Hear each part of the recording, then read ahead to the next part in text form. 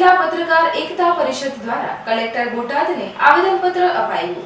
સમગ્ર ગુજરાતમાં પત્રકાર એકતા પરિષદ દ્વારા આવેદનપત્ર આપવામાં આવ્યું હતું. ત્યારે બોટાદ જિલ્લાના પત્રકાર એકતા પરિષદ દ્વારા કલેક્ટર બોટાદને આવેદનપત્ર પાઠવવામાં આવ્યું હતું, જેમાં જણાવાયું કે સોમનાથ ટ્રસ્ટ દ્વારા તેના સ્થાનિક પત્રકાર મિત્રોને કવરેજ કરતા રોકી અપમાન કરવામાં આવ્યું હોય, ગુજરાત પત્રકાર એકતા પરિષદ દ્વારા તેનો વિરોધ કરવામાં આવ્યો છે.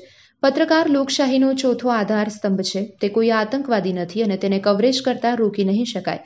ત્યારે સોમનાથમાં ટ્રસ્ટીઓ દ્વારા પત્રકારોને કવરેજ કરતા રોકીને તેનું અપમાન કરવામાં આવ્યું છે, જેનો સખત શબ્દમાં વિરોધ કરવામાં આવ્યો હતો. જે બાબતને લઈ આજરોજ બોટાદ પત્રકાર એકતા પરિષદના પત્રકારોએ બોટાદ જિલ્લામાં કલેક્ટરને આવેદનપત્ર પાઠવી વિરોધ નોંધાવ્યો હતો.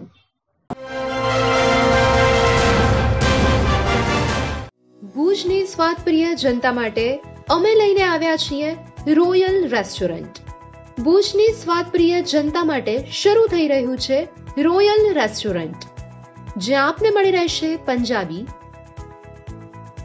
ચાઇનીઝ ગુજરાતી, કાઠિયાવાડી.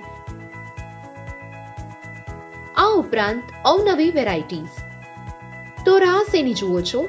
આજે જ મુલાકાત લો.